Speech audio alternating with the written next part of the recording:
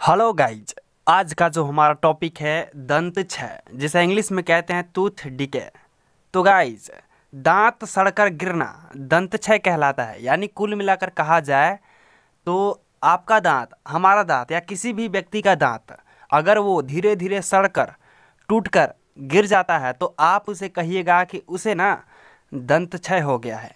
सड़ सड़ कर अगर आपका दांत टूट रहा है तो आप समझिए कि आपका दंत क्षय शुरू हो गया है। ओके? तो दंत क्षय में यही होता है कि दांत जो होता है ना, सड़कर टूटने लगता है। ठीक है? तो आई होप आप समझ गए होंगे दंत क्षय के बारे में। तो चलिए मिलते हैं अगली वीडियो में। वीडियो पसंद आया हो तो लाइक का बटन ज़रूर से दबा दीजिएगा। Bye bye take care